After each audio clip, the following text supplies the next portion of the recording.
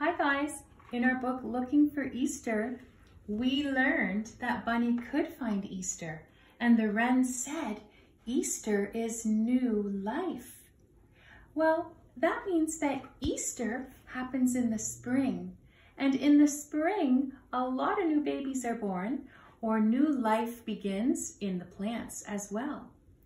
We're gonna do some math today. We're gonna do a little tally, but you get to go out on a spring hunt outside. You get to look for Easter, which also kind of means you can look for signs of spring. In our book, New Life by Bunny and Wren were four things. The bunny was shown four new lives. And the first one was beavers. There were beavers, but I left off the b, b letter B. So I'm going to put the B there, a stick with a ball, beavers, and then in the book I wrote down that they had the mama and two babies. So how many beavers did they find? The mama and two babies. One, two, three. We're to tally.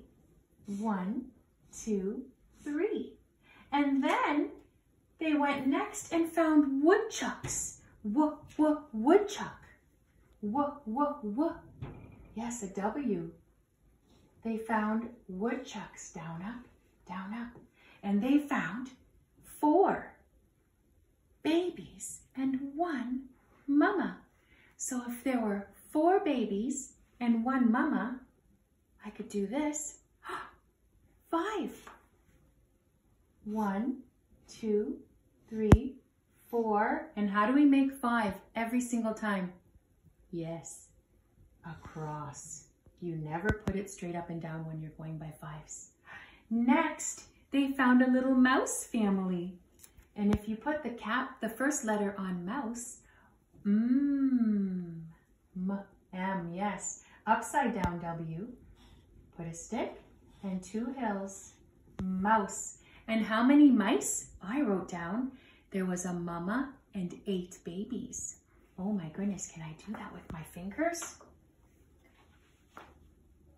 Five, six, seven, eight babies plus a mama. Oh, how many is eight plus one? There's only one missing out of our 10.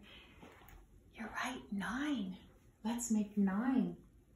One, two, three, four, five, six, seven, eight, nine. Excellent.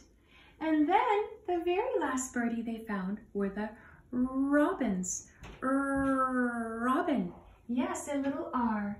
Make a stick and a little hill. And I wrote down that there was one mama and three babies. One plus three. Four. So I'm going to make four. One, two, three, four. And that's my tally. If I got really eager, I could add them all up. But for now, please learn how to tally. You can go on a hunt for spring. You might find some other things. And you can put the word here if you want to try and write the word, or just put the beginning letter if you're at that stage of writing, whatever you think is best. And then tally. As you go searching, if you see another beaver, then you could put another tally. Or if you found a robin and then you found a blue jay, that would be two birds. So you could just put birds and put two, whatever you want. Look for signs of spring in the plants and the animals, and then come back with your own list, just like Bunny and Wren made. Mrs. Sims is going out to do that with her kids right now, and we're gonna attach what they find so you can have more ideas. Oh, this is gonna be fun. Have fun on your spring hunt. Bye-bye.